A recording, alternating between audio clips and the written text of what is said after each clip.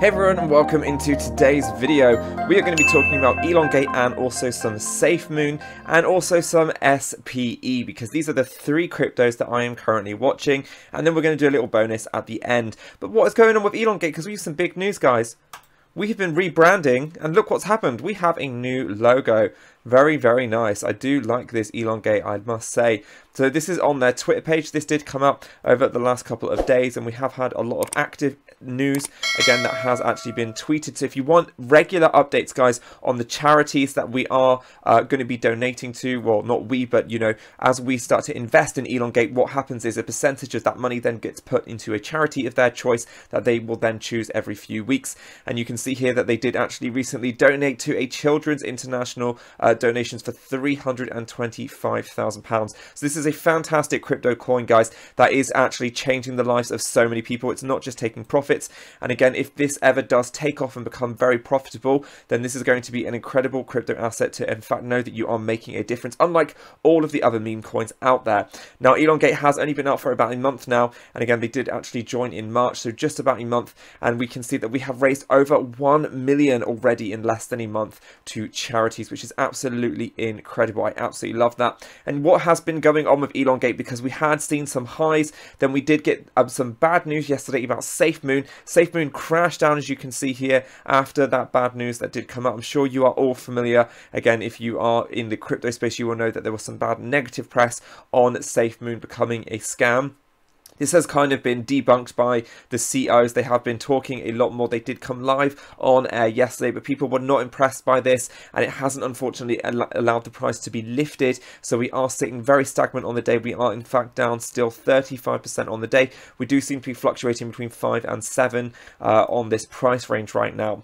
Now, Elongate did get affected by that initial sell-off, but it has since recovered a lot more than SafeMoon has. And I think if we continue to sell off and we do get back down to the lowest of about 6.8 or even lower, then this could be a nice chance to maybe load up with some new shares, uh, new coins, as we say, with the Elongate.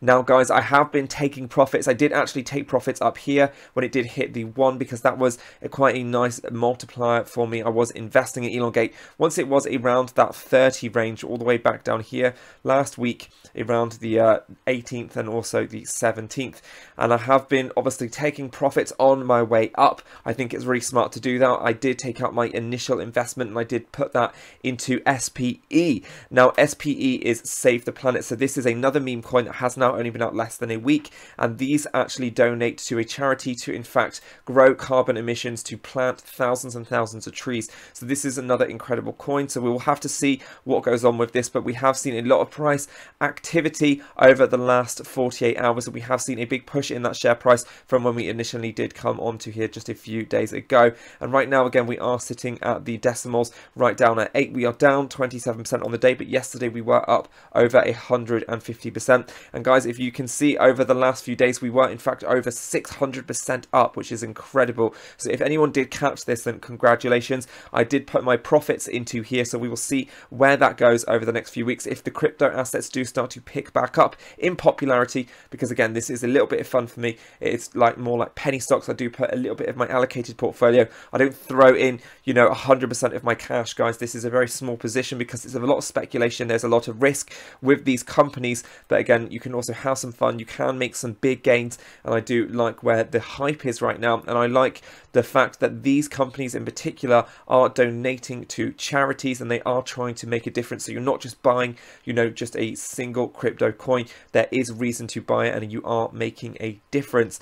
Now, SafeMoon is down, like I said. I am looking for that to crash a little further before, in fact, I do any more research and start to buy back in because I'm not sure where this is going to go right now. The sentiment does seem to be quite flat. We have got some holders that are holding in here. That is probably people that have been buying at these high prices and they don't want to lose out. And you guys know that SafeMoon has been created that when you actually sell a token, the other people that are holding actually get a gain. It starts to push the price of SafeMoon up. So it stops people from selling selling once they buy because they want people to buy this for the long term. I do like the concept of Safe Moon and they are saying the fact that this is a safe crypto coin to invest in because it is going to go to the moon and that's why it has that 10% allocation, 5% to tax and 5% returns to those shareholders of the coin itself. So we will see where this one goes.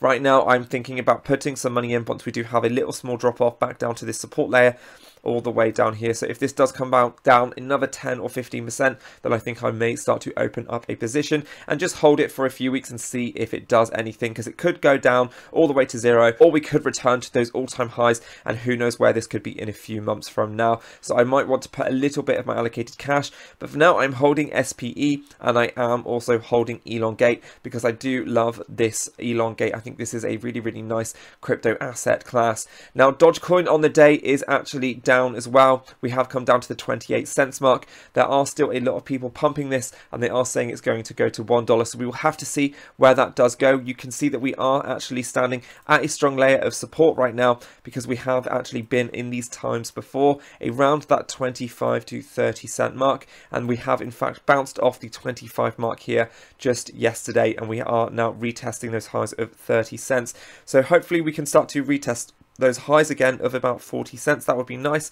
And again, this would be a nice area of resistance. So if we don't break this and we start to sell off, then this could be a really good place to cash out, take profits, wait for the dip, buy any of the dip, and then obviously sell the news as it comes back up. So that is what I'm doing with our Dogecoin. I am investing obviously still into Dogecoin, just a tiny bit. I did get in when it was around that 11 cents mark and I am still holding my position up right now in some profits. So guys, that is what I am doing with all of my crypto plays. You guys know that the majority of my crypto is in Bitcoin. I'm very bullish. If you would like alerts on Bitcoin and all of those things, then be sure to join the Patreon. There is a link below in the description. And also, if you would like to subscribe to this channel, then feel free. I would love to have you as part of this community, as part of this family. Welcome, as I say. Don't forget to go down there and smash the like button for me. I hope you did enjoy this video today. My name is Jason, and I look forward to seeing you guys back on my channel soon. And if you did enjoy this style of video, then please let me know below in the comments because a lot of my views on this channel haven't been about crypto. I am still interested to learn who is coming into the channel and they are watching this through to the end and they are in fact liking these videos because I would love to know who you guys are. So guys, I'll see you guys in my next video. Ciao!